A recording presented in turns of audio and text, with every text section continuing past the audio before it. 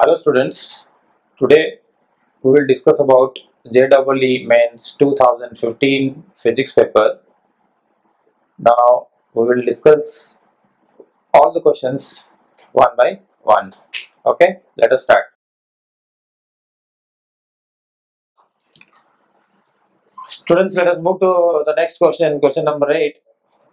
The question number 8 is about the simple pendulum, a pendulum made up of a wire, uniform wire of cross sectional area A. So there is a wire which is uniform cross sectional area, area is A. Its time period T is a pendulum and it swings and time period is T. When an additional mass M is attached to its bob, so when you attach a mass M to its bob, the time period changes to Tm. The time period in this case becomes Tm. If uh, the Young's modulus of the material of the wire is Y, Y stands for Young's modulus, then you have to find 1 upon Y is how much? This you have to see. Now, we know that the time period of uh, pendulum is independent of the mass of the bob. But here, the heavier mass might increase the length of the wire. If you think of a string and then uh, suppose you have got a 50 gram or 70 gram or 100 gram mass, then the time period is not uh, affected by the oscillation. But instead of a string, if you have a wire, metal wire, then uh, the time period of uh, the oscillation will change because of not the mass, because of the additional of mass which uh, produces extension in the wire. So because of the extension in the wire, the length increases and the time period also increase.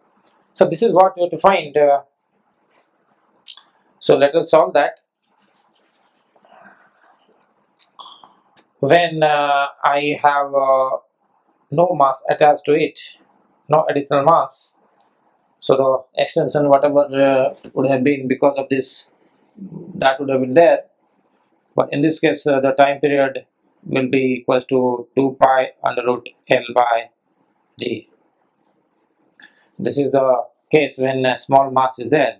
So here the length L is not the length of the string, the wire, it is uh, the extension included.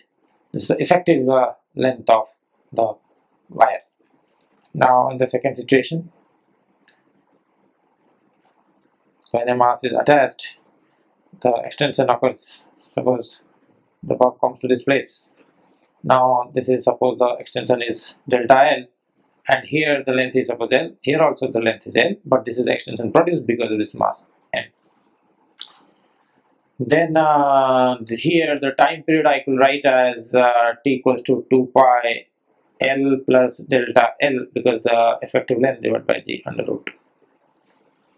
The other situations this time period is I'll call it is Tm so the time period when uh, mass m is additional mass m is put to the bob now I our aim is to find the reciprocal of Young's modulus. To find the reciprocal of Young's modulus uh, so we have to again uh, write one more thing here that uh, y formula is because you have to introduce y so to introduce y you have to know what is y y is the force stress upon strain that is force upon area. The force that is responsible for this extension is mg. Force upon area is a. Then the strain is delta l over l. So this is the formula for y so if i want to write uh, 1 upon y then 1 upon y will become